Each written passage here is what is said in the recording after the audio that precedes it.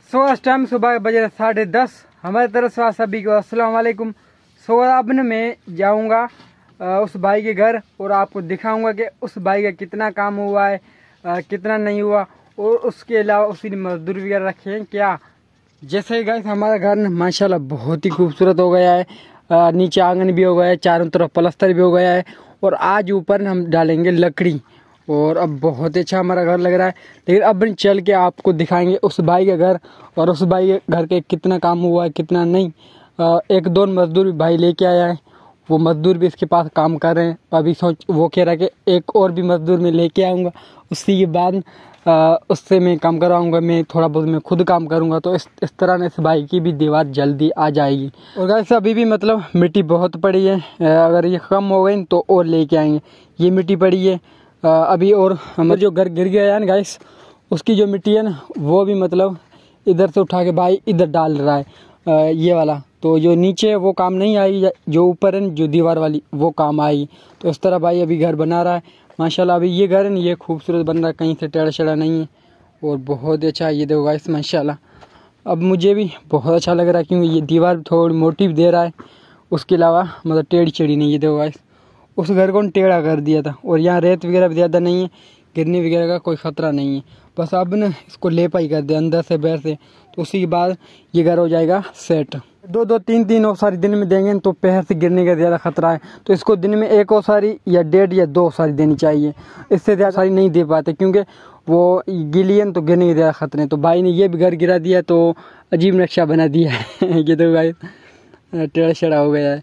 बस सही थोड़ा बहुत मतलब छाएँ तकरीबन कुछ दिन तक ना इसमें गुजारा करेंगे उसी के बाद ये घर बन जाएगा। जैसे कि ये एक मजदूर लेके आया है मेरे ख्याल से ये तकरीबन कोई एक हफ़्ते में बन जाएगा नहीं? बन जाएगा ना? माशाल्लाह बहुत अच्छी दीवार हो गई है बड़ी हो गई है। ये देखो गाइस इधर से तकरीबन मुझे ऐसे लगता है कि आधी दीवार हो गई है आधी से एक की ओसारी कम होगी? तो तकरीबन साढ़े आठ, नौ फुट की करेगा। तो साढ़े आठ फुट में तकरीबन ये मेरे ख्याल चार, साढ़े चार फुट हो जाएगी। अभी तकरीबन साढ़े चार चार फुट ऊपर करेगा। मेरे ख्याल से कोई दस दिन में इस घर को कंप्लीट कर देगा। और बहुत तेज़ी से काम लेके आ रहे हैं, लेकिन जैसे ही मजदूर आया है ना तो काम ज़्यादा निकल रहा है। क्योंकि इससे ये कि इसकी दिन में एक ओसारी, दो ओसारी आ जाती है। पहले ने ये बड़ी मुश्किल से आधी ओसारी दे पाता था, क्योंकि ये एक होता था। और अभी ये दो हो गए उस वजह से ना इनका काम बहुत तेज़ी से निकल रहा है। गाइस, अगर इस भाई की दीवार ना गिरती तो अभी इसका काम कंप्लीट हो जाता जैसे मेरे घर का घर, जैसे मेरे घर का गाइस काम कंप्लीट हुआ है जैसे कि आपको गाइस पता है कि मेरे घर में ना अभी इतना ज़्यादा काम नहीं है। इसके घर में अभी तकरीबन मेरे ख्याल से कोई दस बारह दिन लग जाएँगे। लेपाई वगैरह करेगा साइडों पे या ऊपर मतलब लेके जाएगा इस दीवार को। तो तकरीबन मेरे ख्याल दस दिन के करीब लग जाएँगे। ऐसा नहीं गाइस बार बार दीवारें गिरती रहेगी। ऐसा नहीं है। आपको पता है पक्के पक्के घर भी गिर जाते हैं। लेकिन कभी कभार इंसान कोई गलती करता है तो उस वजह से घर गिरते हैं। अगर आप कमेंट कर रहे थे कि ऐसे नहीं, आपकी दीवार गिर जाए। नहीं गाइस ऐसा कोई मतलब नहीं है। अगर अल्लाह पाक चाहेगा तो गिर जाएगी। हमने ना कच्चे घर बनाए तो हमें पता है कि ऐसे ना मतलब जल्दी में ना कच्चे घर नहीं गिरते। थोड़ा बहुत डर लगता है जो ये रेत के इलाके हैं इनमें। लेकिन इसको अच्छे से बना दिया ना पैर इसमें गिरने का कोई खतरा नहीं है। मतलब भाई ने एक दो सारी नीचे डाली ज़मीन में, उसके अलावा चारों तरफ़ लेपाई करेगा दो दो लेपाई होगी तो बहुत ही मज़बूत हो जाएगा। लेकिन और भाई कह रहा है कि तीन ओसारी नीचे ए, मतलब दो ओसारी एक नहीं तीन ओसारी नीचे दी मैंने दो ओसारी नीचे दी थी लेकिन इसने तीन दिए। जितनी ज़्यादा नीचे देंगे उतनी ज़्यादा दीवार मज़बूत होगी।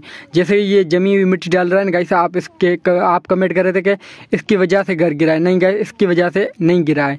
तो ये मज़बूत हो जाती जैसे कि ये सैलाब करती है ऊपर नीचे वाली। तो ये आपस में चिपक जाती है अच्छे से। इसका ये ठेका है कि नीचे से लेकर ऊपर तक जितनी दीवार होगी वो ये भाई करके देगा। और गाइस आप कह रहे थे कि अपडेट देना कि भाई के घर कहाँ तक पहुँचा है तो मैंने आपको गाइस दिखा दिया। इतने घर पहुँचा है और माशाल्लाह अब जल्दी से घर को लेके आ रहे हैं क्योंकि ये दो बंदे हो गए हैं। तो मेरे ख्याल से दिन में दो दो सारी बाइक कह रहा है कि आ जाती है दिन में। तो पहले नहीं ये मतलब आधी और सारी बड़ी मुश्किल से देता था। तो अभी दो सारी आ रही है, आप अंदाज़ा लगाएँ, तकरीबन कोई मेरे ख्याल से अब न आठ, दस दस, बारह सारी आएगी। तो कम दिन लगेंगे, इंशाल्लाह इसका घर बन जाएगा जल्दी। खिड़की के लिए जाए छोड़ दी विंडो के लिए। दूसरी ये विंडो के लिए जाए छोड़ी है, दरवाज़ा यहाँ डाल देगा। तक न भाई के घर पहुँच गए, मैंने जैसे आपको दिखा दिया, और अब न मैं अपने घर का काम करूँगा। बाँस पे ये डाल दिए छापर तो अब न बाँस की ये लकड़ी का तो अभी सोच रहा हूँ कि इससे कैसे मैं आगे जाऊँ, क्योंकि ये गीली है ये जो आँगन है ना, हमारा गीला है। तो अभी ऊपर चढ़ के मुझे ये लकड़ी रखनी है, क्योंकि आज फार के बैठेंगे तो अच्छी बात नहीं है। अंदर तो थोड़ा बहुत सूख गया होगा, क्योंकि अंदर हमने कल नहीं, परसों मतलब ले पाई की थी। लेकिन ये अभी तक नहीं सूखी।